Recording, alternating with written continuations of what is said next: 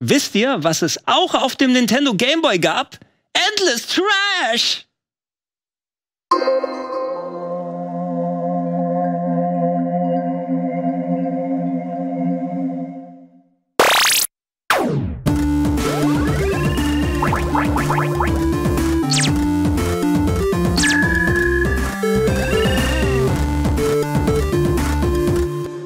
Guten Tag und herzlich willkommen, werte Zuschauer da draußen an allen möglichen Empfangsgeräten, mit dem ihr den Retro Club hier auf Rocket Beans TV schauen könnt. Ich darf selbstverständlich mal wieder euer Gregor sein. Mannigfaltige Retro-Gaming-Unterhaltung euch präsentieren. Das bin ich. Da seht ihr es. Darunter geht zu Social Media, wo auch immer.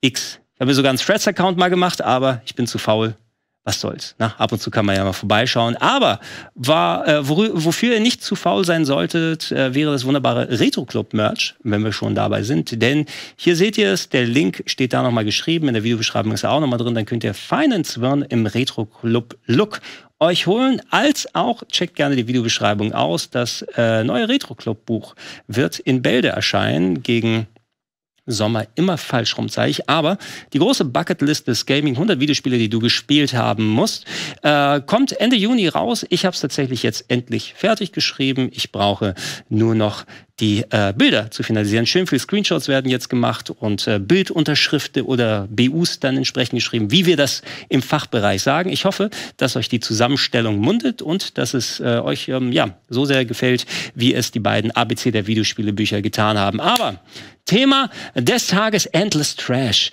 Endlich ist es wieder soweit, werden einige sagen. Andere werden sagen, endlich ist es wieder soweit. Ich freue mich doppelt so sehr, weil bei so einem Thema kann man nur frohlocken und jauchzen, denn äh, wir haben es ja seit einigen Jahren bereits schon mal als kleine Sonderreihe hier, die, die Endless Trash Serie hier ähm, im Retro Club, die sich mit Spielen widmet, ähm, die äh, seinerzeit auf Plattformen natürlich released wurden, wie dem Super Nintendo und dem Mega Drive. Wir hatten auch schon die Nintendo Wii zum Beispiel dabei, äh, PS2 zuletzt auch, wobei ein bisschen anders gelagert hier. Allerdings, ähm, die haben sehr niedrige Wertungen bekommen. Und was ich gemacht habe, ich wollte mal sehen, was sind eigentlich die Spiele, die mitunter die niedrigsten Wertungen bekommen haben.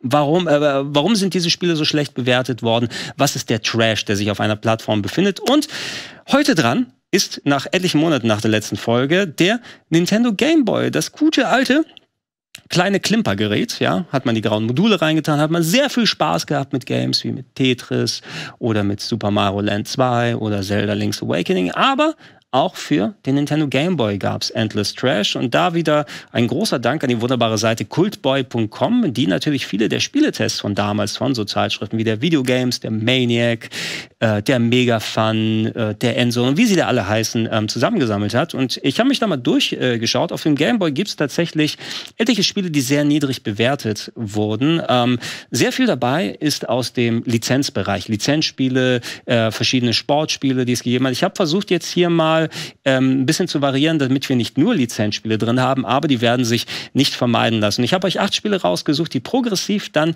immer niedriger werden von der Wertung. Wir gucken auf die erste Grafik. Das erste Spiel, mit dem wir uns auseinandersetzen werden, heißt Mysterium, ähm, äh, gepublished von äh, Asmic. Äh, es gab den Test dazu von äh, Anatol Locker, damals geschrieben, in der Powerplay 1191. 36% Spielspaßwertung hat er gegeben und hat unter anderem in den Test geschrieben, Abwechslung kann man bei diesem Modul mit der Lupe suchen, öde, blöde. Hatte einmal so ein klein bisschen gereimt, der Anatol. Äh, Mysterium, interessant, ja, weil das Spiel war mir lange Zeit kein Begriff. Es wäre wahrscheinlich etwas gewesen, was ich mir damals zugelegt hätte, weil schaut mal da an, ein Dungeon, ein Drache, eine dampfende Kiste, so in der Mitte. Das kann ja nur was Gutes heißen. Anscheinend nicht, denn 36 Prozent zeugen davon, dass es eher in die Endless Trash-Reihe gehört. Wir gehen aufs Ingame einmal rauf und ähm, hören die schöne Musik. Äh, während die Musik spielt, kann ich ja ein bisschen mehr vom Test vorlesen, den wir hier haben. Das war kein allzu umfangreicher Test. 36 Prozent gab es für ähm, die Spielspaßwertung und die Musik ist schon längst vorbei jetzt hier. 24 Prozent Grafik, 46 Prozent Sound. Ähm, Anatol hat geschrieben, Ärger 1, die Batterie zum Spielstand speichern wurde wegrationalisiert, Passwort gibt's keines. Ungeil für so ein RPG. Das habe ich jetzt ergänzt. Äh, Ärger 2, die Grafik erinnert an übelste Ultima 1 Zeiten. Ärger 3, begegnet man einem Monster, kann man nur stupide auf die Feuertaste hämmern und hoffen, dass das Biest einem nicht zu viel Lebensenergie abzieht. Ärger 4, die Bedienung ist derart umständlich, dass man vor äh, lauter Tastenknubbeln die Lust am Spiel verliert. Das ging ja noch okay, äh, wäre das Spiel, ähm, das ging ja noch, wäre das Spiel okay. Die Idee mit den Metallen ist ganz schmuck, aber kann in Arbeit, äh, Arbeit artet allerdings in Arbeit aus. Abwechslung kann man bei diesem Modul mit der Lupe suchen, öde, blöde. Ähm, was hier an dem Test hier vielleicht schon raushören könntet, es ist ein Rollenspiel-Style-Game, wie ich es meine. Ich will es nicht direkt Rollenspiel nennen. Maxis hat er anscheinend mitentwickelt in Amerika. Maxis, die natürlich auch ähm, unter anderem, äh, die hatten doch die ganzen Sims-Spiele gemacht. Ne? Maxis ist doch die Firma von Will Wright, wenn ich mich nicht irre. Wir haben auf jeden Fall es hier im Intro mit einer A-Meise zu tun oder einer B-Meise die uns sagt, ich bin Mörder, ich äh, passe auf das Mysterium hier auf. Du musst doch ein sehr äh, fähiger Alchemist sein, wenn Herr Metrix dich äh, vorbeigeschickt hat, damit du diese sehr schwierige Aufgabe übernehmen kannst. Äh, wir haben dir ähm, dann äh, ja Tümpel voller Feuer äh, gegeben, Wasser, Säure und Mercury ist Quecksilber, glaube ich, oder? Weil ich mich nicht irre, ähm, äh, so dass du transmutieren kannst, was du findest und dir schaffen kannst, was du brauchst, um das, Myster das Mysterium des Mysteriums zu lösen. Das Geheimnis hinter dem Mysterium. Äh, erlöse uns vor dem Griff des Biestes. Also, ähm, es ist ein Dungeon Crawler. Ich kann mich hier tatsächlich ähm, komplett in 3D bewegen mit dem Steuerkreuz. Schwierig wird es. Äh, Anatol hat im Test bereits die etwas umständliche Steuerung dann erwähnt. Ähm, ihr seht lauter Items, die auf dem Boden herumliegen. Ich habe die Möglichkeit, ähm, in ein Menü reinzugehen. Ich hoffe, ich mache das jetzt hier korrekt. Je nachdem, was ich hier in meinem Inventory habe oder was ich auf dem Boden befinde, ich kann damit interagieren mit Text-Items. Zum Beispiel da, wo ich mich befinde, ist eine Echse auf dem Boden. Ich kann mir die Echse angucken. Zum Beispiel eine Echse, die dann ähm, äh, Augen mit Juwelen hat. Interessant, die nehme ich mal. Jetzt haben wir die Echse mitgenommen. Jetzt müssen wir gucken, dass ich aus dem Menü rausgehe.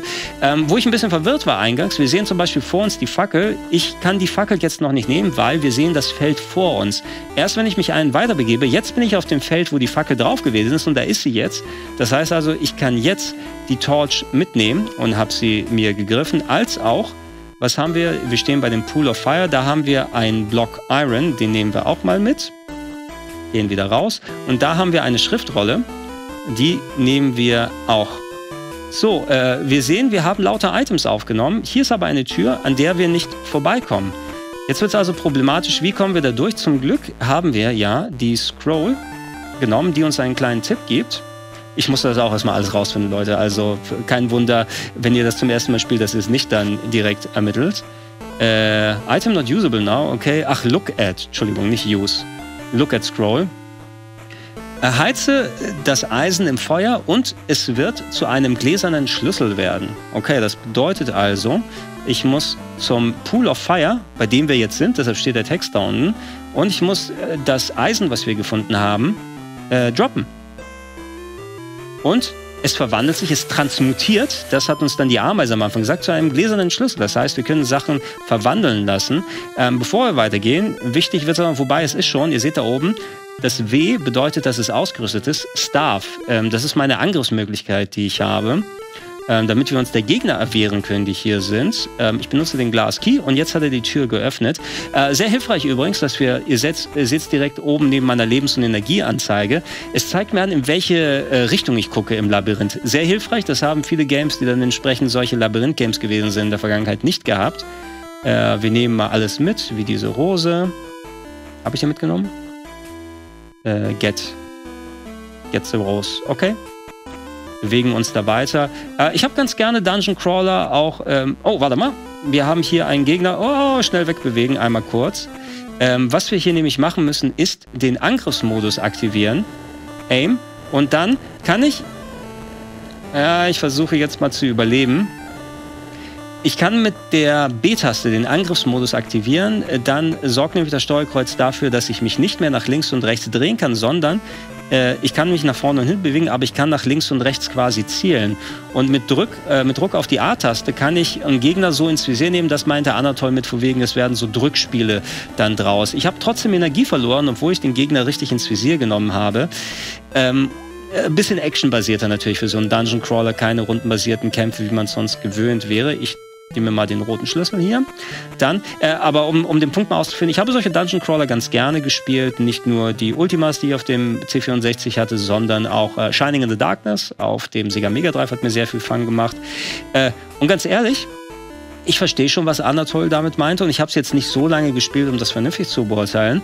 Aber mir macht es mir macht's irgendwie Spaß, muss ich sagen. Ne? Also ähm, so, wenn man jetzt nicht in Labyrinthe dann reingerät, wo es wirklich dann super anstrengend wird und du tatsächlich vom Zufall abhängig wirst, ob du die Gegner vernünftig besiegen kannst.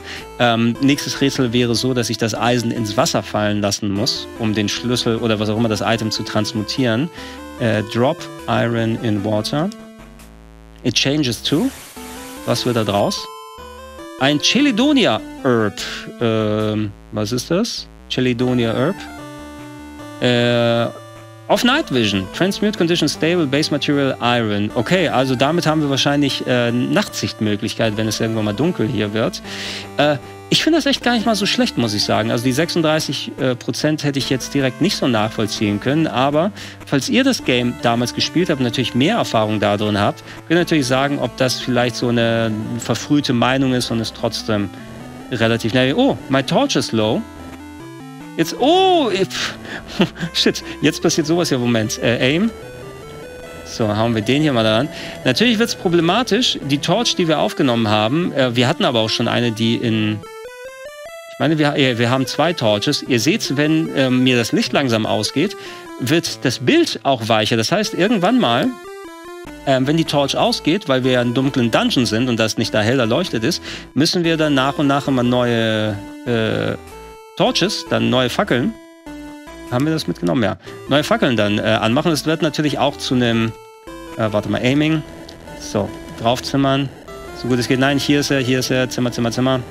Meine halbe Energie ist auch schon weg hier. Also wird es vielleicht dann doch nerviger, je weiter man spielt. Und natürlich muss man mit der Steuerung und so weiter zurechtkommen. Äh, warte mal, ist da ein Gegner hinter mir? Natürlich ist ein Gegner hinter mir. So. Mal kurz gucken, welcher Schlüssel durch diese Tür passt, weil ansonsten beschäftigen wir uns mit dem Spiel auch hier zu lange. Aber ich finde, hier ist der Test vielleicht ein kleines bisschen übertrieben, aber Anatol hat es natürlich ähm, damals wesentlich länger gespielt als ich. Okay, der Black Key ist es nicht. Der Red Key ist es. Your Torch is low. Jetzt könnten wir hier durch. Oh, es geht noch weiter. Und dann haben wir den Full File. Okay, lasst uns mal an dieser Stelle aussteigen, weil hier würden wir natürlich probieren und machen und rumadventuren. 36 Prozent. Ja, na, äh, ich, ich muss es mal länger spielen und schauen, ob das so gerechtfertigt ist. Ich würde das vielleicht sogar unter durchaus Geheimtipp einordnen. Mal gucken, hoffentlich gefällt es mir dann besser. Wir gucken auf die nächste Grafik drauf und das nächste Spiel hat eine Wertung von 35% bekommen, also einen Prozentpunkt weniger als bei äh, Mysterium. Super Chase HQ, ein alter Arcade-Klassiker, der hier in einer Gameboy-Portierung umgesetzt wurde, getestet in der Videogames 1.95 von Dirk Sauer, der unter anderem seine 35% damit gerechtfertigt hat, äh, mit der Aussage, die Level sehen fast alle gleich aus. Kunststück, da auf allen Strecken fast nur geradeaus gefahren wird. Punkt, Punkt, Punkt. Natürlich mehr Content im Review. Völlig sinnlos, bloß nicht kaufen. Ähm, ich bin Super Chase äh, oder allgemein Chase, äh, Chase HQ was für ein Name, nicht unbedingt abgeneigt. Ähm, also gerade solche Rennspiele auch auf dem Gameboy habe ich die durchaus ganz gerne gespielt. Ähm, wir können aufs Ingame gerne raufgehen. Taito natürlich eine bekannte Firma, die das gemacht hat. Der Test ist hier so ein zweizeiliger, der keinen richtigen Fazitkasten hat. Ich habe also die Quote für euch hier rausgezogen. Völlig sinnlos, bloß nicht kaufen. Wir werden gleich mal sehen, es gab äh, für Musik 30%, Soundeffekte 22%, Grafik 42%, Spielspaß 35 hier.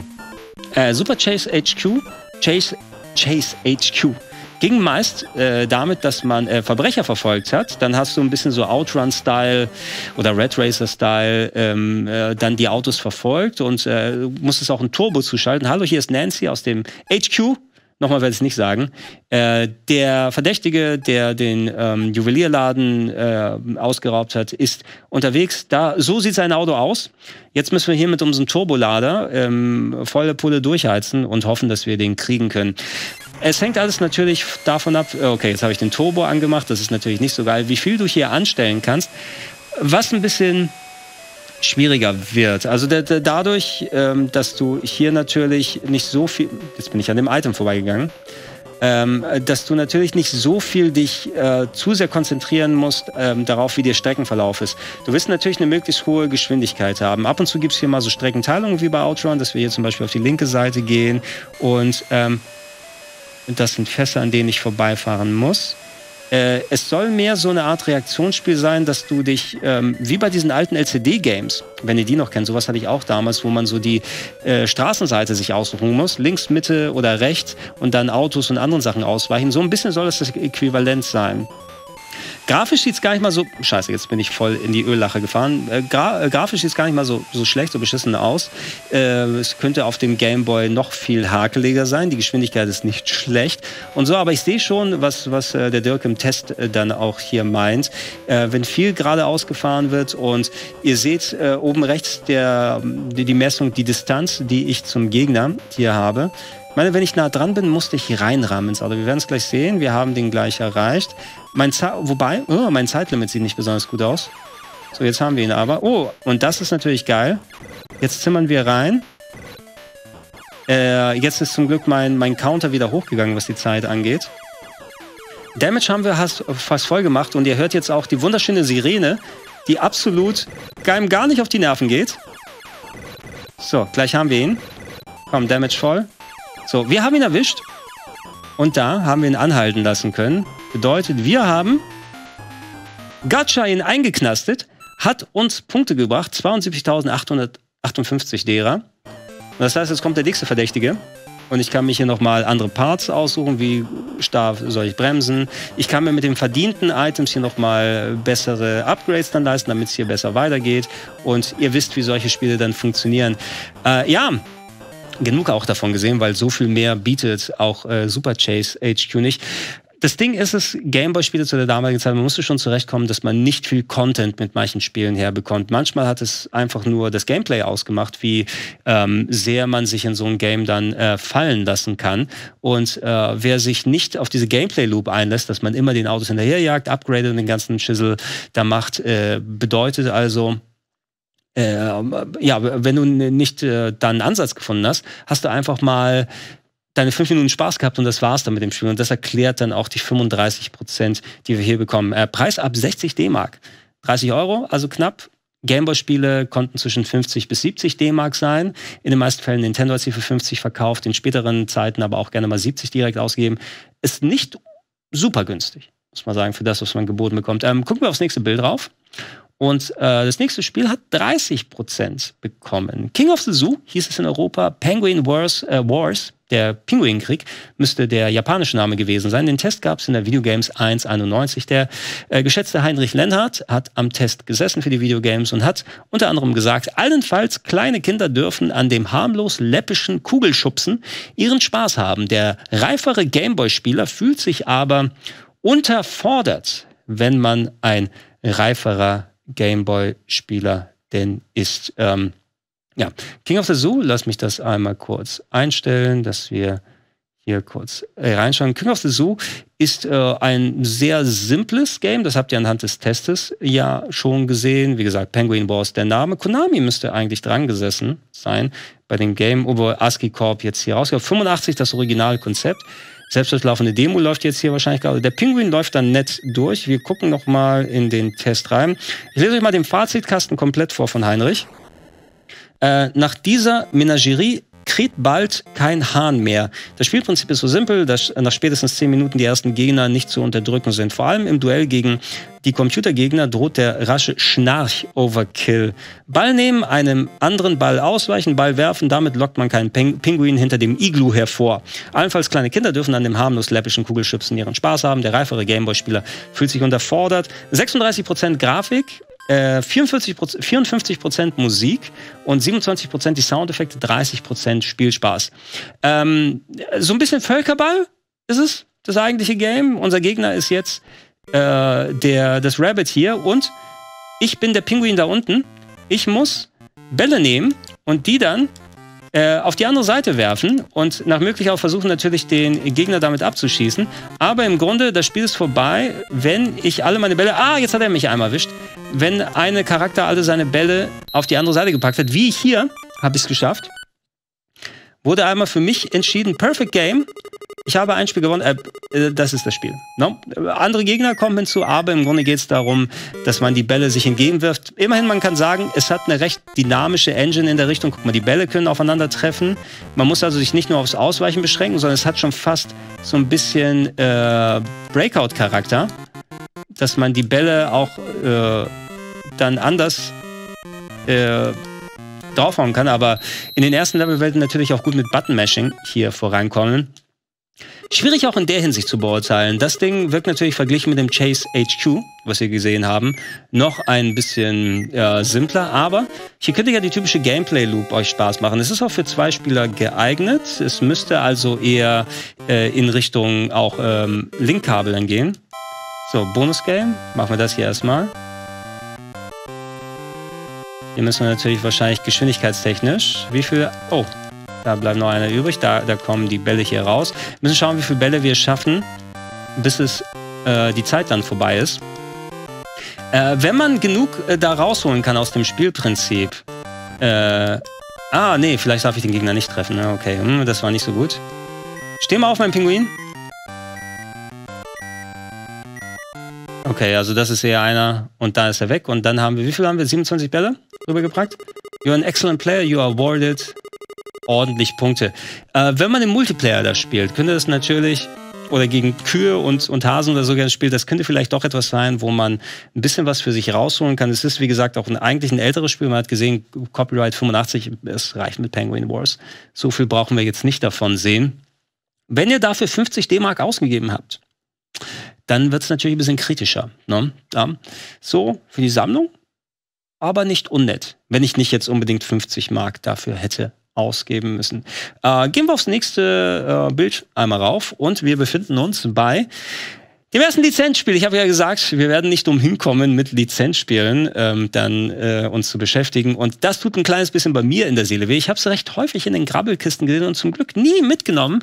Ultra Games ist tatsächlich ein Label von Konami, die es gepublished haben. 26 Prozent für Star Trek The 25th Anniversary zu 25 Jahren Star Trek, Anfang der 90er. Ich glaube 91 müsste es soweit gewesen sein. Das 25-jährige Jubiläum gab es etliche Videospiele, ein paar nette Adventures, als auch diesen Shooter für den Nintendo Game Boy. Äh, getestet von Julian Eggebrecht, ja, der Julian Eggebrecht von Factor 5, der hat unter anderem auch für die Videogames-Tests geschrieben damals ähm, und hat äh, zu dem Spiel geschrieben, selbst hartgesottene Tester greifen angesichts der spielerischen Einöde schnell zum Ausschalter. Mensch, Julian, ja, da muss es dir aber wirklich schön langweilig gewesen sein. Ähm, wir sehen hier, hören wir auch die Musik?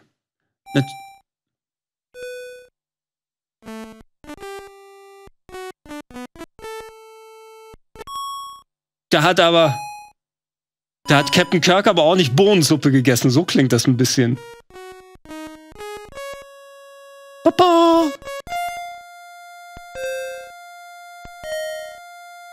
Ja, jetzt gespannt, wie, wie weit das geht. Bisschen geil ist das schon natürlich, dass die Musik kommt. Äh, während wir diese wunderbare Bohnenintonation hören des Star Trek uh, The Original Series Themes. Lese ich kurz den Test vor. 56%, 56 Grafik, 14% für Musik. 19% für Soundeffekte, 26% Spielspaß. Julian hat geschrieben, unverständlich, wie die Interplay-Programmierer aus einem so dankbaren Thema eine derartige Schlaftablette machen konnten. Das Grundkonzept, eifriges Weltraumkartenlesen und viel Action wird durch die katastrophal langweiligen Actionsequenzen und den zu hohen Schwierigkeitsgrad völlig zerstört. Lächerlich langsam quält sich das stolze Raumschiff durch, die ewig, wieder, äh, durch ewig wiederholende Welträume und schießt auf endlose Asteroidenschwärme. Selbst hartgesottene Tester greifen angesichts der spielerischen Einöde schnell zum Ausschalter. Captain Kirk und seine Mannen hätten wahrlich Besseres verdient. Ich hätte eigentlich auch Besseres verdient. Ich hätte lieber ein gutes Star Trek-Spiel für den Game Boy gehabt. Es gab eine Handvoll gute Star Trek-Spiele. Ich weiß nicht inwiefern, ey, von Visual Concepts gemacht, produced by Interplay. Visual Concepts, die gibt es heute noch. Die machen heute noch gute Spiele. Damals noch nicht so ganz. 1991 rausgekommen. Ähm, von Interesse wäre es eventuell. Also ich hätte einige Star Trek-Spiele, die ich auch länger gespielt habe, die ich euch gerne zeigen will. Es ist leider auch viel Crap dabei, unter anderem das hier, aber wäre vielleicht mal was für ein Special.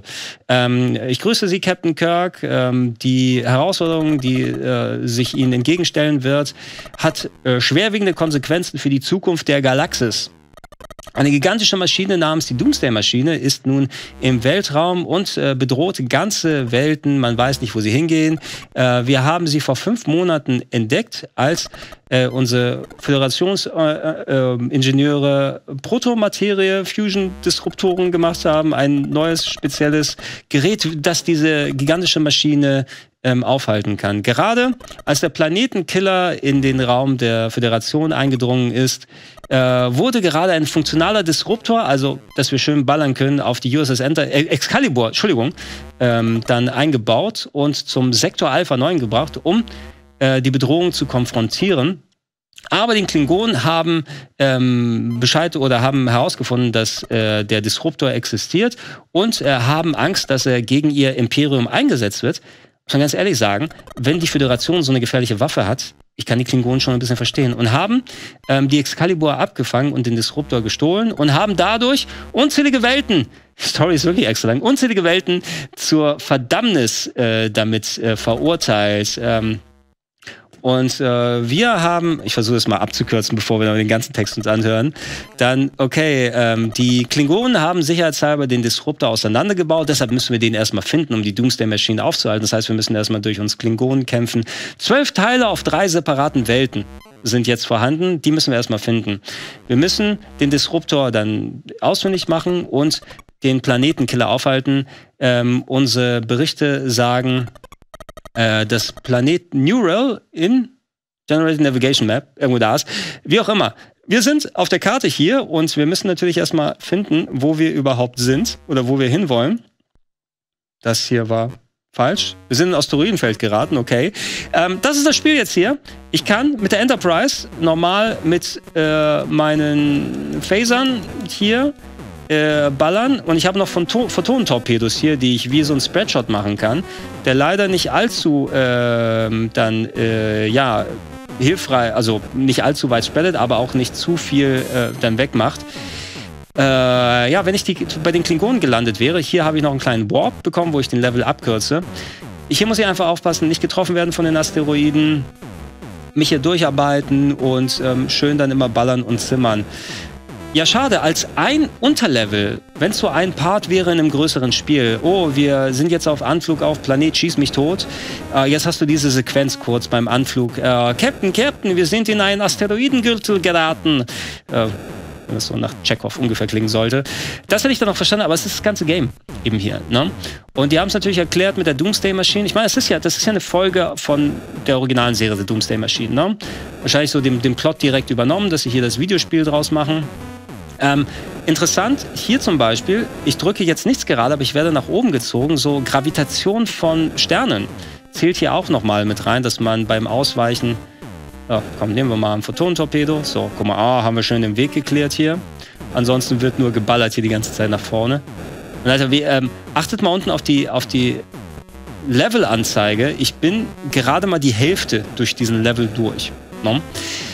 Äh, ja, die denken schon dran, so ein paar äh, Annehmlichkeiten reinzutun. Und ey, ungeil, dass ich hier einfach nach dem, nach dem Warp direkt äh, mit irgendwas zusammenstoße. Also hier zu Beginn ist es noch easy in der Hinsicht, ich bin jetzt vergleichsweise weit, aber habe noch einiges mit meinen Schilden hier über. Du musst echt wirklich mega hartgesottener Star Trek-Fan sein, um das äh, ertragen zu können. Ich bin ein hartgesottener Star Trek-Fan. Und so richtig geil ertragen kann ich es nicht. Ich, ich könnte es ein bisschen beschleunigen, wenn ich es ein bisschen riskanter machen würde, indem ich in den vorderen Bereich des Levels gehe. Also ich halte jetzt mal das Steuerkreuz auch nach rechts gedrückt. Und ähm, ihr, ihr seht es eventuell, es ist ein bisschen schneller. Scheiße, und der Planet zieht mich da oben auch an, aber meine Schilde werden natürlich auch umso mehr in Mitleidenschaft gezogen. Wenn ich nach hinten gehe, würde ich mal schätzen, dass es dann umso langsamer ist. Aber so richtig rentiert sich das nicht, ganz ehrlich weil dann dauert es umso länger, bis ich den Level hier durch habe. Ich hoffe mal, wir haben noch zwei Photonentorpedos. Ich zimmer mal durch. Ein bisschen Schilde haben wir noch, dass wir das Ende hier mal sehen. Äh, Julian, ich bin bei dir. 26 Prozent. Durchaus gerechtfertigt. Wir müssen mal gucken, was sie dann dafür haben wollten. Zu dem 25-jährigen Jubiläum das Adventure, eben das war so ein Point-and-Click-artiges Adventure für Amiga und PC, was es damals gegeben hat, zwei sogar. Wobei das eine war zum 25-jährigen Jubiläum und eins ist ein bisschen später erschienen. Äh, nicht unähnlich zu Final Unity mit Star Trek Next Generation, wenn ihr das mal auf dem PC gespielt habt. Äh, meine favorisierten Games, ihr habt es hier vielleicht auf dem Sender. Ich bin abgestürzt am Planeten. War's das? Das war's, oder? Oh, ich muss wieder anfangen. Nee, nee, Level mal hier nicht nochmal am Anfang. Das reicht. Mein favorisiertes ich mache hier auf Pause, damit die, die Enterprise nicht kaputt geht. Äh, mein favorisiertes Spiel oder einige meiner favorisierten Spiele sind die Elite Force, die Ego-Shooter. Die habe ich auch hier auf dem Sender ja mal gezeigt und ähm, das ist eigentlich schon ganz schön gut, muss ich sagen, auch wenn die mittlerweile recht veraltet sind. Diesen Kram. Kann man sich leider nicht mehr geben mit 26 äh, Prozent. Ähm, lass uns eine kurze Pause machen und äh, ein bisschen durchschnauben, ein bisschen ein Palette Cleanser mal, die Geschmacksknospen reinigen, damit wir bereit sind für noch mehr Gameboy Endless Trash. Bis gleich.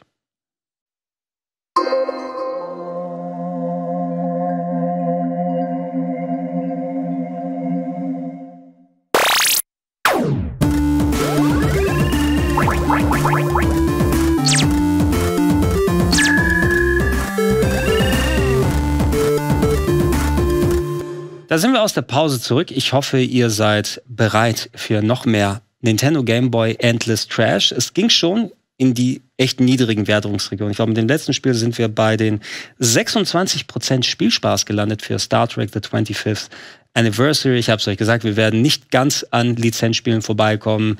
Wenn ich wollte, könnten wir alles mit Lizenzspielen füllen. Nichtsdestotrotz, wir schauen uns auch ein bisschen andere Games an und gucken auf das nächste Bild drauf. Das nächste Spiel hat ebenfalls eine Wirkung von äh, 26% bekommen, wie das Star Trek Game. Allerdings handelt es sich um Viking Child, The Prophecy One ist der Untertitel. Ähm, seht ihr auf der Verpackung da auch nochmal. Den Test gab es in der Videogames 8 1994. Wolfgang Schädle hat den Test geschrieben und schrieb unter anderem dazu, Überflüssig wie ein Gameboy ohne Feuerknöpfe, trotz Bonusgegenständen und unterirdischen Passagen besitzt Prophecy nichts, was es einer Kaufempfehlung würdig machen würde. Würdig machen würde. Ich hätte es vielleicht ein bisschen anders formuliert, also so viel wie, wie und ü und würde und sowas mit dabei. Will man vielleicht bei äh, Viking Child nicht so äh, häufig entsprechend dabei haben.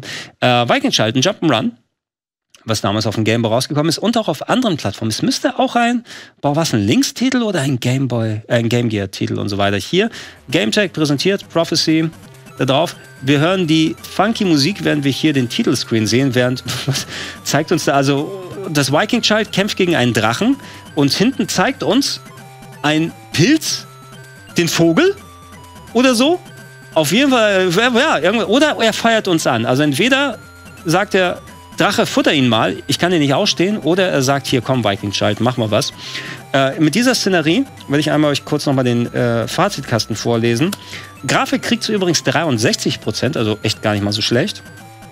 Äh, Musik 35%, Soundeffekte 20%, Spielspaß 26%. Übrigens der Preis hier circa 80 D-Mark damals und Star Trek wäre bei 70 D-Mark gewesen. 80 D-Mark dafür, holy shit. Als Import aber, dementsprechend hat das einiges gekostet. Ja. Ähm, überflüssig wie ein Gameboy ohne Feuerknöpfe, trotz netter Grafik, trotz Bonusgegenständen und unter, unterirdischen Passagen besitzt Prophecy nichts, was es einer Kaufempfehlung würdig machen würde. Die unfaire Sprite-Abfrage treibt jeden Spieler frühestens nach ein paar Minuten in den grenzenlosen Wahnsinn. Zieht man außerdem in Betracht, dass Prophecy weder mit rasanter Action noch mit kniffligen Geschicklichkeitstests aufwartet, ist das Urteil schon gefällt. Wer sich tödlich langweilt und das Modul auf einem Sonderpreis Ramschhaufen im Kaufhaus erblickt, darf zugreifen. Ansonsten findet sich mit Leichtigkeit ein anderes Game des gleichen Genres, was einiges mehr an Spielwitz zu bieten hat. Geschrieben von S. Golding, weil man braucht einen Autor auf jeden Fall dafür. Vielleicht ist aber auch das Spiel selber gemeint. Wir ähm, starten das Spiel. Get ready. Ich bin der Viking Child. Ich springe herum. Äh, es ist ein Jump'n'Run. Wir sind in Odins Welt natürlich, in den Westernländern dabei. Und ähm, da ist das Viking Child. Da sehen wir ihn. An irgendwas erinnert mich das Sprite und die Musik selber. Die Musik ist nicht schlecht, würde ich jetzt sagen. Die hat 35% bekommen, aber ist das so ein bisschen so Last Ninja-Style oder so mit dem Instrument? Hört sich so fast schon so an. Egal, wahrscheinlich wird die einem sowieso komplett auf die Nerven gehen nach einiger Zeit. Da hat sie nicht umsonst ihre 35% bekommen. Ähm, ich kann mit dem Viking Child hier springen. Ihr seht auch, wie seine Friese nochmal in der Wanne. Oh, die Gegner respawnen dann auch hier. Man muss natürlich aufpassen mit der Kollisionsabfrage. Hier sehr kleines Schwert, mit dem man hier haut. Ähm, ich kann mich in der Luft bewegen und das ist weird. Wenn ich ähm, einen größeren in größerem Abstand falle, Gott, das ist jetzt echt fies, im größeren Abstand falle, dann ähm, verwandelt sich mein Charakter-Sprite in irgend so ein Hampelmännchen. Ey, was ist das? Lass mich doch mal... Holy shit. Okay, komme ich hier... Kann ich über den Gegner rüberspringen? Alter, das macht es natürlich alles umso schwieriger. Und natürlich ist hier nichts. Komplett umsonst gemacht. Oh, schon die Hälfte meiner Energie verloren. Ihr seht sie nämlich da unten. Also merkwürdig an sich sieht das Spiel ja nicht so schlecht aus für die Verhältnisse, die wir haben. Es hat ja eine 63% Grafikwerte bekommen. Aber die Kollisionsabfrage mit dem, von wegen, wann treffe ich einen Gegner? Ich habe nicht eine besonders große Reichweite. Ich glaube, ich treffe den jetzt. Ja, doch, habe ich ihn getroffen. Ähm, Items mitnehmen. Es ist ein Jump'n'Run. Ja, man kann springen und laufen und auch irgendwie angreifen. Aber so richtig geil fun macht es leider nicht. Ähm, Wolfgang war es, ne? Wolfgang hat es in seinem. Ja, hier auch. Was, was wird denn draus hier? Okay, warum wird denn da so ein kleines Knubbelmännchen draus, wenn das so, so ein stattlicher, stattliches Viking-Child ist, den ich normalerweise hier durch die Gegend kann? Die Gegner auch ganz. Ey, die laufen mit einer höheren Geschwindigkeit. Das heißt also, ich kann sie nicht vernünftig aufhalten. Ich versuche mal zu timen gleich, wenn der zurückkommt. Ja, oder kann ich hier rein? Hier ist eine Tür wenigstens. Da, auch im Shop. Was kannst du mir anbieten, mein Freund? Äh, ich habe 35 Gold. Oh, ich wollte eigentlich das Herz mitnehmen. Kann ich nochmal rein? Mein Freund. Äh, so, äh, Shop mit Select vielleicht? Okay. Ich kann mir ein Herz leisten. Geil, gib mir ein Herz. So, kein Gold mehr. So viel Auswahl gab es dann nicht. Und jetzt habe ich 58% Energie. Äh, und die Musik hat aufgehört. Die Musik ist durch. Da hatte mich schon gewundert. Ich dachte, das ist hier vielleicht, oh, ich habe zu lange gedauert im Level, aber die fängt dann wieder an. Nach einiger Zeit.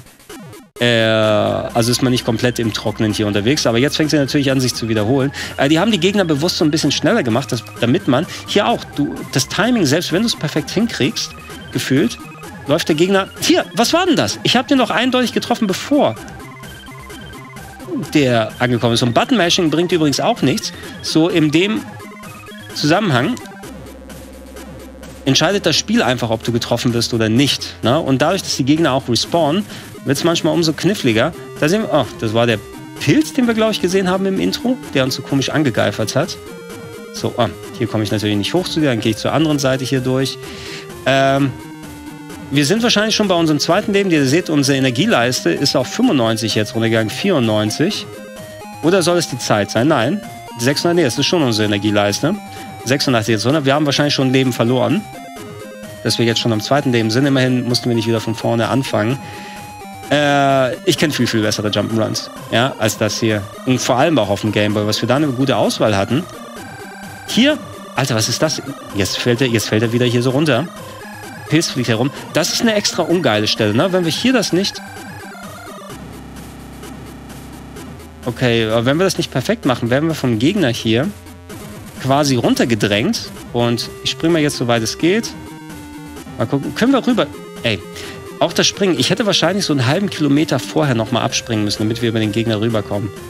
Und die Gegner springen auch random ab und zu mal hoch, damit du bloß nicht irgendwie das abschätzen kannst oder einfach über die drüber springst. Nein. Du sollst schön dir deine Packung abholen. Darf der erste Level auch irgendwann mal zu Ende gehen? Oder so? Alter, was geht denn hier ab jetzt? Jetzt fällt's runter. Oh. Jetzt mach doch nicht sowas.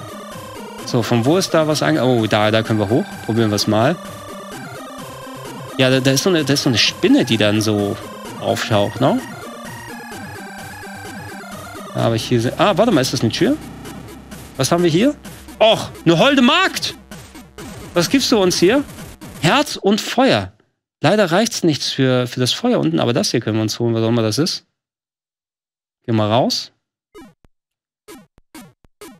Ähm, select. Select Weapon. Okay, ich habe drei von den Bomben, schätze ich mal, sind es, aber ich kann die nicht wirklich... Oh ne, rein, hm, rein wollten wir nicht unbedingt, obwohl natürlich eine nette Dame, die uns da begrüßt. Gehen wir mal wieder raus. Mal gucken, wie ich die Bomben einsetzen kann. Jetzt fällt er wieder runter. So, ähm, oben und angreifen. Unten und angreifen. Oh, unten und angreifen ist es. Okay. Wow, it's boss time! Und meine Bomben sind alle weg. Meine Bomben und mein Leben. You are doomed. Es ist vorbei. mein Freund. Äh, es ist auch vorbei mit The Viking Child. Mehr habe ich keinen Bock. 80 D-Mark als Import. Nee, ähm, 26% ist natürlich schon sehr niedrig. Vielleicht kann man da irgendwo noch mal ein bisschen mehr Spielspaß rausziehen. Aber vertrauen wir da auf Wolfgang mit den 26%. Ähm, wir brechen eine Prozentgrenze mit dem nächsten Titel. Wir gucken auf das nächste Bild drauf. Wir sind nämlich bei einem Lizenzspiel ähm, als Import getestet in der Powerplay 8 1990 von Henrik Fisch, geschätzter Kollege, hat es damals sich angeguckt. 19 Prozent hat er gegeben für Popeye auf dem Game Boy. Ähm, Henrik schrieb damals, das, was sich hier auf dem Bildschirm abspielt, kann man nicht einmal als miesen Abklatsch des alten Automaten bezeichnen. Viel langweiliger geht's nicht mehr. Alter Automat im Jahr 19, äh, 1990. Wann war der ähm, Automat von Nintendo? Der war 1982, meine ich. 81 war Donkey Kong, 82 das. Ich müsste noch mal genau gucken. Also verglichen mit heute war das jetzt nicht so alt, aber natürlich erwartet man da ein kleines bisschen mehr. Ähm, der Popeye-Automat weil die Geschichte drumherum, Popeye sollte eigentlich mal die Grundlage für Donkey Kong werden. Dann gab es aber ein eigenes Popeye-Spiel, was ein bisschen wie Donkey Kong war, auf dem Game Boy. Das Game hier hat wenig mit dem Automaten, gar nichts mit dem Automaten zu tun, sondern nimmt die Popeye-Lizenz zu einem Pac-Man-artigen Spiel. Ja, immerhin, die Musik ist da, ein Intro läuft. Äh, Sigma Enterprises äh, in Japan-Import, wie ihr es hier gesehen habt, haben es gemacht. Ähm, der komplette Test ist wirklich nur so ein kleiner Achtelseitentest hier. Ich kann den auch komplett vorlesen. 19% gab es von Hendrik, äh, 19% auch für die Grafik, 34% für Sound. Äh, insgesamt 70 D-Mark für den Import. Das, was sich auf dem Bildschirm hier abspielt, kann man nicht einmal als miesen Abklatsch des Automaten bezeichnen. Popeye rennt in einem Labyrinth umher und hat die Aufgabe, Olivia und das Baby zu finden. Auch Brutus rennt herum und versucht Popeye zu vertrimmen. Eine herumfliegende Spinatdose gibt Kraft zum Prügeln, ein Herz sorgt für Punkte und der herumlaufende Wimpy verteilt Hamburger, die unpassierbare Hinwa äh, Hindernisse bilden. Viel langweiliger geht's nicht mehr. Ja, probieren wir es doch mal aus. Push the Start Button, push the button, don't push the button. Immerhin, zwei Spieler würden auch gehen. Äh, Gehen wir mal drauf. Play. Äh, A-Course. Und wir spielen Popeye. Da sehen wir es. Ich muss Olivia Öl finden und das Baby. Zwischendurch. Ich glaube, Olivia könnten wir rechtzeitig finden. Und da läuft Brutus unten entlang. Äh, wenn Brutus mich erwischt, äh, muss ich ihm die Schnauze vermöbeln. Dann wird nämlich zu so einer Art Button-Mashing-Game herausgefordert. Hier zum Beispiel. Jetzt seht ihr es da unten. Und äh, ich hau mal drauf. Ich habe ja auch den Spinat. Das sollte vielleicht besser gehen. Da ist Wimpy mit den unpassierbaren Hindernissen. Also ab und zu mal selbst. Mich wundert es ein bisschen, warum bin ich jetzt in diesem... Ja, da habe ich Brutus mal ein bisschen gehauen. Aber Olivia Öl haben wir jetzt gefunden. Den einen Teil des Level-Zieles. Äh, warum haut mich Brutus, wenn er... Unpassierbare Hindernisse? Ich habe den Burger gerade genommen. Aber egal. Und wir nehmen das Herz da auch noch. Ah, ich kann mich schneller bewegen sogar mit dem Burger. Äh, warum konnte mich Brutus hauen, obwohl ich eigentlich nicht direkt auf der gleichen Linie wie er war? Wir hatten ja eigentlich die Bäume irgendwie unter uns abgrenzen. Ähm, jetzt muss ich das Baby finden, wo wir Olivia Öl haben. Da ist das Baby. Und ich glaube, das war der Level, oder? War das Level, ja. 51 Sekunden haben wir gebraucht, kriegen das auf unseren Score drauf. Und dann wird der nächste Level gemacht, der, meine ich aber zumindest ein anderes Layout hatte, oder? Ja, es ist zumindest ein anderes Layout, aber jetzt läuft es hier gleich ab. Ähm, ah, da, jetzt werden die Burger zu unpassierbaren Hindernissen, warum auch immer. Selbst Wimpy kommt nicht vorbei, nehmen den Burger wieder mit. Wieso konnte ich den Burger dann vorhin aufnehmen? Na? Vielleicht ist es so, wenn äh, Olivia in meinen Armen ist, dann kann uns kein Burger aufhalten. Burger Lars Dietrich, hier? Ja, hier schon. Interessant, im ersten Level war es noch nicht so, aber hier sind sie unpassierbar. Jetzt gucken wir mal, wo das Baby ist. Äh, ich habe nichts auch gegen solche Labyrinthspiele natürlich, äh, muss aber ein bisschen was mehr bieten als das, was wir hier sehen. Da ist ein Käng Känguru, hat mich gehauen. War das mein Leben jetzt hier? Und da kommt Brutus. Oh, und jetzt wird hier da gekämpft. Natürlich, jetzt wird's nervig. So. Ich bin mir nicht sicher, ob das vom... Äh, und Livia läuft einfach weiter, anstatt dass sie wartet, bis wir mal fertig sind oder so. Ähm, ich bin mir nicht ganz sicher, ob ich hier timingmäßig drücken muss. Ich mache einfach Button-Mashing hier. Oder eventuell reicht das für Brutus. Ich... Oh, hat nicht gereicht. Ich glaube, der hat mich Game Overt hier gerade, weil ich hatte auch keinen Spinat dabei. Also hat es das noch schwieriger gemacht. Nee, gar nicht Game Overs. Kann er... Er nimmt, er nimmt Olivenöl nicht mal mit, sondern hat sich das Herz gegriffen, wahrscheinlich die Energie. Oh, nicht nochmal. Muss das sein? Muss wahrscheinlich sein. Äh, Henrik, ich kann deine 19% nachvollziehen hier. Stell dir mal vor, ihr habt das aus, den, aus Japan importiert, vielleicht auch keinen Test angeschaut und erwartet zumindest, dass es eine Umsetzung des Automaten ist. Na? Seit, äh, Seitenansicht mit diesen verschiedenen Leveln und so weiter, was eben an, an Donkey Kong angelehnt ist vom Gameplay her so ein bisschen. Und damit hat das hier natürlich relativ wenig zu tun. Äh, Regie, wir können gerne davon weggehen, weil ich habe keinen Nerv weiter gegen Budos zu kämpfen hier. Das muss nicht unbedingt sein. Heute. Heute zumindest nicht. Äh, 19% hat dieses Spiel bekommen. Könnt ihr glauben, dass ich hier noch zwei Spiele habe, die noch weniger als 19% bekommen haben? Ja, könnt ihr glauben, weil ich habe es gerade gesagt. Und äh, wir gucken auf das nächste Bild drauf und wir haben es wieder mit einer Lizenzumsetzung zu tun. Und zwar hier müsste es eher auf einem Comic basieren, nämlich Robocop vs. Terminator. 16% Spielspaßwertung. Das Spiel war anscheinend so schlecht, dass ähm, auf dem Test nicht der konkrete Tester genannt wurde, sondern ich habe einfach mal Redaktion Maniac geschrieben, weil der Test war in der Maniac 2 1995 gewesen. Und ja, diese Crossover-Games können natürlich nochmal einen besonderen Anreiz für Fans beider Universen bieten. Robocop vs. Terminator hört sich ja nach irgendwie Spaß an. Die Leute von der Maniac sagten dazu, oh, können wir es nochmal zeigen, bitte Regie, weil der, die Quote würde ich gerne nochmal sehen. Der Albtraum in Modulgestalt, Armutsgrafik sowie nervtötende Musik und FX, also Soundeffekte, runden die Katastrophe ab. Und dafür gab es 16 Prozent.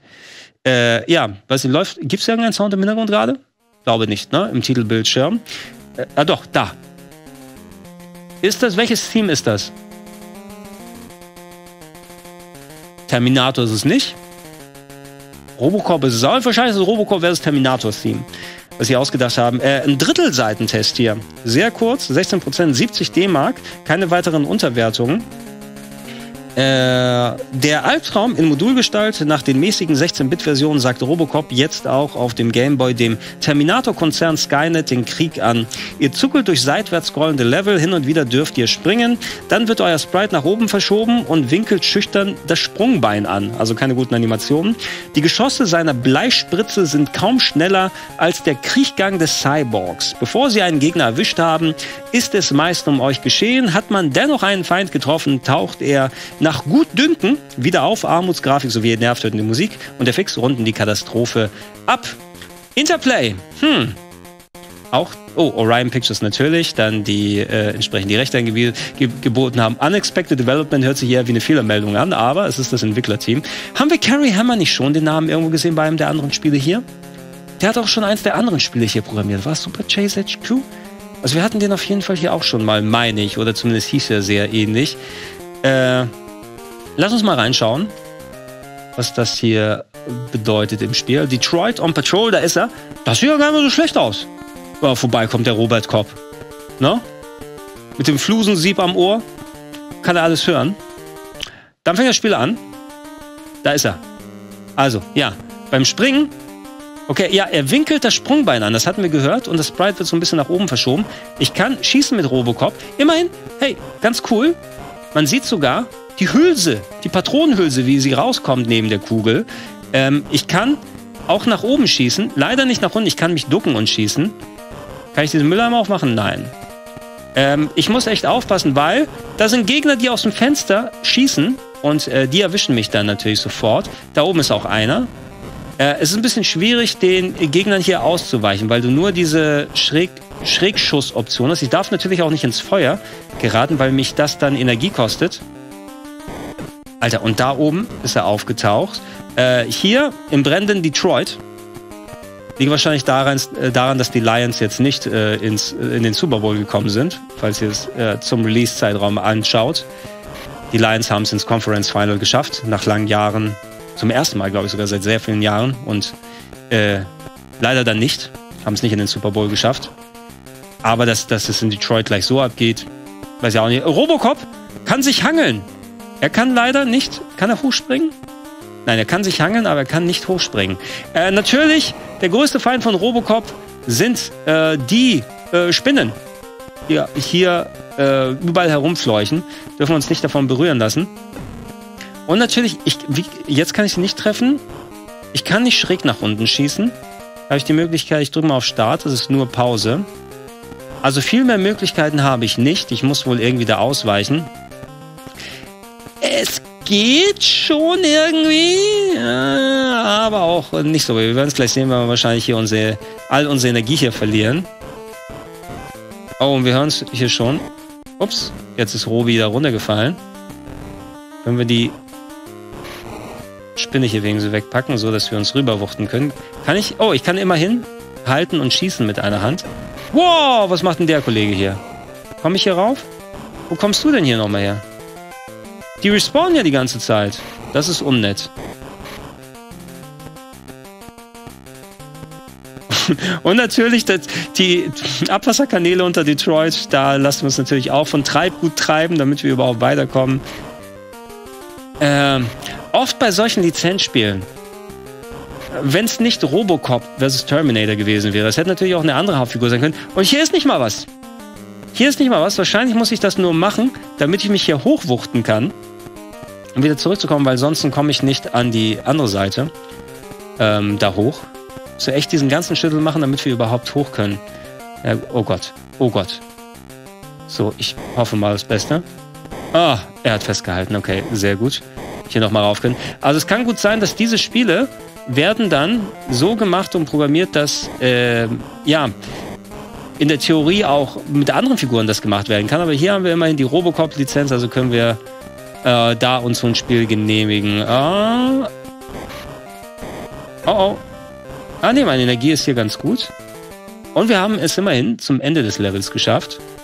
Detroit OCP Factory. Äh, ja, der, der Manic-Redaktion also soweit die dann gespielt haben, der hat es nicht so gut gefallen, die 16% hier. Ich finde ein bisschen besser als Viking Child. Aber es macht auch nur der Anfangseindruck, wo ich hier gespielt habe. So viel, so lange habe ich es jetzt nicht gezockt. Es gibt auch viel schlechtere Robocop-Spiele. Es gibt aber auch viel bessere Robocop-Spiele. Robocop Rogue City zum Jahr 23, richtig geiles Game. Wirklich richtig gut. Einer meiner Favoriten in dem Jahr gewesen. Kann man sich als Robocop-Fan sehr, sehr gerne geben. Äh, ansonsten die Arcade-Games von war es Taito? War es Sunsoft? Ich weiß nicht, wer die Arcade-Games gemacht hat. Da gibt es auch zwei ganz gute Robocop-Games. Ansonsten wird es schwierig. Gerade wenn man solche äh, Nulpen hier hat. Immerhin, die haben sich Gedanken ums Leveldesign gemacht. Warum kann Robocop nicht nach unten schießen? Warum kann er nicht nach unten ballern? Wow, jetzt kann er nach unten ballern. Schau es euch an. Okay, geil. Jetzt komm. Ro Alter, wie komme ich da hoch? Oh, Ah, ich muss auf den Müll rauf. Ah, I get it. So. Ähm, ist das okay? Ich dachte, kann ich durch den, kann ich im Schacht dann noch, haut mich das runter? Nein, ich komme dran vorbei. Es ist nur Hintergrunddeko, zum Glück. So, vorsichtig. Also ich muss auch ein bisschen aufpassen hier. Äh, ja, mir macht's, mir macht's mehr Spaß als Viking Child. Muss aber nicht so viel heißen. Vielleicht liegt es auch daran, dass ich gerade gar nicht mal so schlecht Fortschritt hier mache. Ah, meine Special-Waffe ist weg. Oh, Laser bei OCP. Und jetzt bin ich wieder runtergefallen. Oh, oh. Äh, warum bin ich jetzt nur bei OCP unterwegs? Ich dachte doch, dass ich äh, gegen Skynet kämpfe. Vielleicht muss ich mich erstmal durch Detroit arbeiten, bevor ich dann rüber darf. Wo hat Skynet seinen Sitz? LA? Ja, ne? Da wieder ein bisschen Energie aufgenommen. Wir gucken mal, wie weit wir hier kommen. Ähm, habt ihr das Game mal gezockt? Äh, hattet ihr das äh, euch bei mir? Weil es kann ja auch ich meine, wir lesen jetzt hier die Zeitschriftentests. Ne? Wir schauen uns das an. Und das sind natürlich professionelle Tester, die es ein bisschen anders beurteilen können, als jetzt der Otto-Normalspieler, der das Spiel vielleicht tatsächlich aus der Grabbelkiste mal mitgenommen hat oder von den Eltern geschenkt bekommen hat. Nee, hier können, oh Gott, hier können wir nicht durch. Ähm, also kann es sehr gut sein, dass es für manche von euch da draußen vielleicht sogar ein richtiges Kindheitsspiel ist. Also 16% kann ich ja überhaupt nicht nachvollziehen. Das würde mich mal interessieren, wenn jemand so dabei ist von euch. Sag mal, ich bin da doch durchgesprungen. Hat 0% verdient. Nein, nein, nein. 0% ist wahrscheinlich. So, ich muss, ich muss nur besser springen, ne? So, vielleicht zur anderen Seite. Natürlich nicht. Erstmal die Gegner weghauen und so, so, so, das reichte. Ja, endlich. Komm, erreiche ich das Ende noch? relativ langer Level. Es gab ein Robocop-Game für den C64. Wirklich? Oh, das ist der Terminator, oder? Das ist der Terminator schon. Ich terminiere dich. OCP, you don't know me.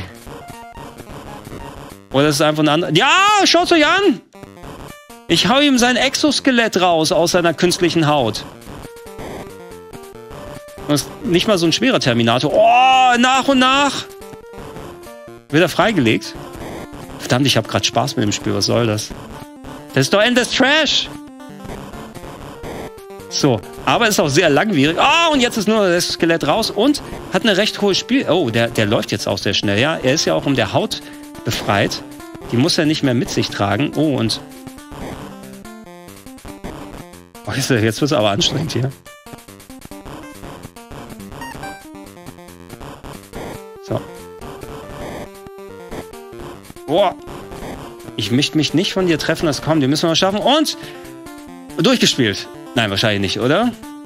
Kann ich jetzt einfach vorbei? Und wo haben wir es hingeschafft? Es war einer der Terminator. OCP Factory Part 2? Kann es nicht mal ein bisschen was anderes sein? Wie sieht die denn aus? Das wollen wir wenigstens noch sehen. Wahrscheinlich genau wie die erste. Jetzt mit noch mehr Hindernissen. Ähm, uh, genug gespielt. Es reicht. Robocop vs. Terminator. Äh, ich hätte vielleicht 17% statt 16 gegeben, ne? Das kann man ja durchaus bestimmt sich noch mal geben, wenn man absoluter Robocop-Fan ist. Nichtsdestotrotz, ein Spiel habe ich für euch noch über und jetzt gehen wir tatsächlich in den einstelligen Prozentbereich. Und was hatten wir bisher? Wir hatten bisher Lizenzumsetzungen, wir hatten Actionspiele, Puzzle-Games und so weiter. Ich kann euch jetzt schon mal sagen, es ist ein Sportspiel, was wir gleich sehen werden. Aber was für ein Sportspiel? Es gehört eigentlich zu einer der erfolgreichsten Serien überhaupt. Auf dem Game Boy hat aber neun Prozentpunkte bekommen und zwar FIFA. FIFA International Soccer. Test in der Megafun 5 1995, 9% von Götz Schmiedehausen getestet. Äh, ja, das klassische FIFA, wie was die Serie quasi angefangen hat, wurde auch auf den Gameboy umgesetzt. Götz hat dazu geschrieben: Überhaupt ist es ziemlich traurig, dass ich, ein FIFA-Fan vor dem Herrn, dieses Teil in der Luft zerreißen muss. Was für ein Gurkenspiel! Ein bisschen tut's mir, auch in der Seele weh, muss ich sagen, denn FIFA habe ich damals recht gern auf dem Mega Drive gespielt. War eines der Spiele, die ich gern gezockt habe. Was kann denn daran so schlecht sein, dass wir 9 Prozentpunkte da kriegen? Gehen wir aufs Ingame rauf, da läuft es. Ich lese euch mal den ganzen Test hier vor. Das war so ein ähm, Achtelseitentest hier wieder, ohne separaten Fazitkasten. 9% Malibu Games haben es umgesetzt. Äh, für einen Spieler ist hier vermerkt, also kein Multiplayer-Modus wohl schon mal mit Linkkabel, was natürlich ein Totschlagargument ist für so ein Fußballgame damals. Äh, bewerte nie ein Spiel nach seinem Cover. Von Amts wegen hätte FIFA auf dem Gameboy ein brillantes Überspiel werden müssen, ist es aber nicht. Dagegen gehört es in die unterste Schublade, auf den Mond geschossen und unsere Leser davor gewarnt, äh, unsere Leser davor gewarnt. Taktik, Spielaufbau, Ballstoppen, kombinieren, das alles sind Fremdwörter für die Programmierer aus dem Hause Malibu Games THQ und anscheinend auch für den HSV in den letzten Jahren. Das habe ich jetzt mit beigepackt. Äh, dagegen hüpft ein seltsames Gebilde auf dem Spielfeld herum, das sowieso macht, was es will. Äh, was Statistiken und Aufmachungen angeht, so konnte man die Originalatmosphäre noch passabel einfangen. Jedoch, kaum tönt der Anpfiff, ergreift man besser die Flucht. Die Pässe können weder gezielt gegeben noch angenommen werden. Das Scrolling ist so flüssig wie Butter am Nordpol. Und überhaupt ist es ziemlich traurig, dass ich ein FIFA-Fan vor dem Herren dieses Teil in der Luft zerreißen muss. Was für ein Gurkenspiel! Punkt! Äh, wir machen auf Deutsch. Wir können auf Deutsch machen. Natürlich für 9 Prozentpunkte kriegen wir Deutsch hin. Wir nehmen natürlich Deutschland. Ah, Deutschland gegen Griechenland. Komm, machen wir mal. Immerhin sehr viele Teams. Deutschland, Griechenland, Halbzeit vier Minuten. Machen wir kürzer, aber ich glaube nicht, dass wir ein ganzes Match hier ertragen. Drücken auf Start. Wir spielen mit Germanien natürlich. Äh, die Ratings sind schon ein bisschen unausgewogen. Deutschland sehr viel, 9, eine 8 fürs Laufen. Die Griechen, naja, mit der 6 ist auch getan. Aber der, Tür, der Torhüter, für den reichen drei. Ne? Schon in Ordnung. Äh, Teamstrategie, Spielausbau, Teamausstellung. Wir gucken mal, wie, wie die Spieler hier heißen. Das würde mich mal interessieren. Äh, J. Schwarz, Erik Freitag, Peter Klaus, Karl Snyder, Tetola, Dieter Meier, Rudi Jans, natürlich keine richtigen Spieler äh, da. Äh, Heiko Klingel, Hans Klingel, F. Mainz, Br Brian Plank, an den kann ich erinnern. Mit dem, also ich habe ja auch FIFA auf Mega Drive gespielt, wie gesagt. K. Picknell, H. Schmidt, J. Porsche, S. Reicher, Robert Kurz, M. Burger, Jofferson, D. Mauer, J. Klein, M. Hochstall sind die äh, Spieler, die wir hier haben. Wir kommen wir hier raus. Kann ich den die Griechen dann sehen. Äh, egal, machen wir Spielstart. Ähm, auf den ersten Blick, es sieht aus wie das isometrische FIFA, wie man es kennt. Leute, das ist der Sound des Spieles. Also Musik und sowas, klar, muss man nicht unbedingt haben. Wir wählen den Ball mal und die wählen die Seite. Ähm, das sind alle Sounds, die ihr hört. Also nichts außer mal so ein Pistolenschuss oder wie, was auch immer dieser Sound sein soll. So, ähm, ich bin das deutsche Team, das das Team hier ist. Ich glaube ja. Wobei, müsste eigentlich andersrum sein. Denn das deutsche Team würde ja weiß tragen und die Griechen dann eher dunklere, blaue Kleidung. Egal. Ähm, ja, äh, ich muss erst mal gucken. Ich kann natürlich dann meinen Charakter oder den Spieler, der nah am Ball ist, dann wechseln, indem ich den Knopf drücke. Ansonsten kümmert sich der Computer darum. Ähm, wie Götz auch schon geschrieben hat im, im Review, so ein bisschen, ich habe nicht das Gefühl, dass ich hier vernünftig eine Kontrolle über alles habe. Ne? Also ab wann rutsche ich rein? Ich habe ein Testspiel gemacht daheim und ich, ey, ich hatte überhaupt kein Gefühl dafür, wann schieße ich mit dem Ball, wann kann ich eine Grätsche machen, dass der,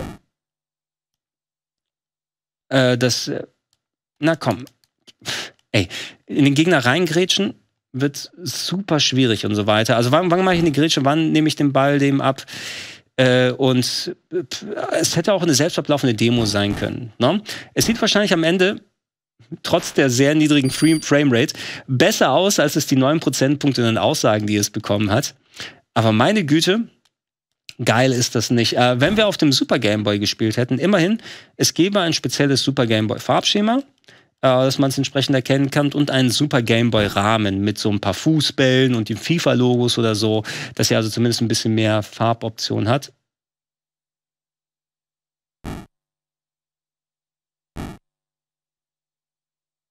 Na, komm, komm, komm. Eigentor, fast.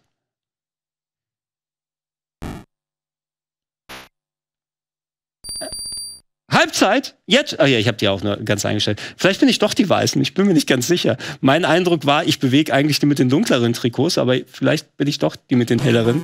Ich kann es echt nicht sagen hier. Das macht schwierig. Ich, ich würde gerne ein Tor sehen. So, eigentlich, okay, wir müssen eigentlich die dunkleren Trikots sein, weil auf der Seite. Ja, und ich wechsle ja auch mit den dunkleren Trikots. Aber ich bin am Ball vorbeigelaufen. Wie das zuckelt und juckelt hier. Ähm, es waren übrigens auch ein paar andere Fußballspiele noch, die sehr niedrige Prozentpunkte bekommen haben, aber ähm, keins so niedrig wie die FIFA-Version. Hier ist aber auch jetzt natürlich die gesonderte Meinung von Götz äh, in der Mega-Fun. Ich habe keine anderen Tests dazu gefunden. Vielleicht haben sich andere Tester ein bisschen gnädiger dazu geäußert. Sag mal. Jetzt komm mal. Ja, komm, komm mich zumindest noch mal eins. Bei meinem Testspiel habe ich gleich vier Tore reinbekommen. Ich bin immerhin ganz stolz, dass jetzt gar keine Tore bisher gefallen sind. Und das, obwohl ich, na gut, es lag wahrscheinlich daran, ich habe England gegen Brasilien gespielt. ah, da ist das Tor. Jemand hat ein Stück Papier abgerissen. Ähm, dementsprechend sind die nicht so gut geeignet gewesen. Da, wer hat das Tor gemacht? Mal gucken. Da die Hula-Tänzerin, das kennen wir auch noch von Mega 3 Fair, unter anderem. Super Nintendo natürlich auch rausgekommen und andere Plattformen des Spiels. Natürlich der gute alte Kostolakis. Kostolakis hat einen Torakis gemacht, direkt das 1 zu Nolakis. So geht das. Aber komm jetzt hier. Zieh mal rum. Mach mal dem Tor. So, hier. Ich hau auf die Tasten drauf, als ob es keinen Morgen gäbe. So. Pass vor, Oh, mach mir alle fertig, ey.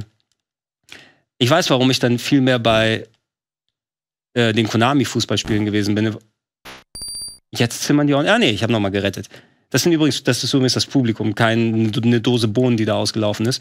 Alter, wie das zuckelt dann auch, wenn ganz viele Spieler in einer Hälfte drin sind. Beim Eckstoß hat man das aber natürlich. Na,